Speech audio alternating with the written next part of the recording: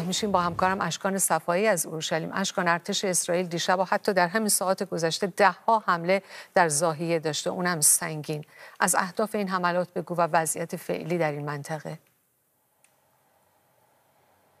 بله خب در طول ساعت صبح امروز هم ارتش اسرائیل چندین حمله سنگین در زاهیه داشته. به نظر به یکی از این حمله ها همزمان با این بوده که نخو...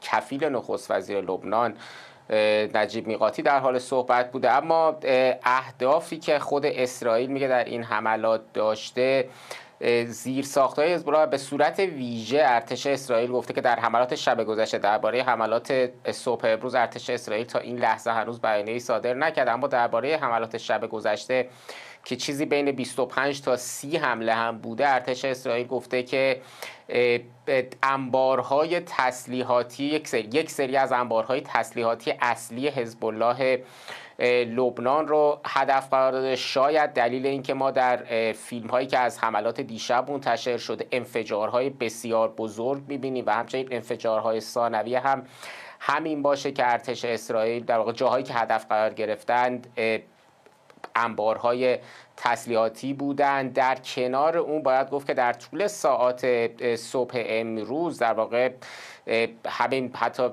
ساعت اخیر صبح امروز چیزی بین مثلا ساعت ده و نیم تا یازده و نیم صبح امروز به وقت محلی هم به نظر میاد که ارتش اسرائیل حملاتش نه فقط در بیروت در زاهیه ادامه داشته بلکه در نقاط دیگر لبنان هم حملاتی شده. هم در جنوب لبنان که اونجا عملیات زمینی هم همزمانه با عملیات هوایی در واقع در حال انجام هست و هم در عمق خاک لبنان الان داره در واقع گزارش هایی منتشر میشه که ارتش اسرائیل صبح امروز یک شنبه حملاتی هم در عمق خاک لبنان داشته. هنوز گزارش های بیشتری از اونجا منتشر نشده. از اون طرف همونطوری که گفتی حزب الله لبنان هم به حملات موشکی و راکتی خودش به سمت اسرائیل ادامه میده.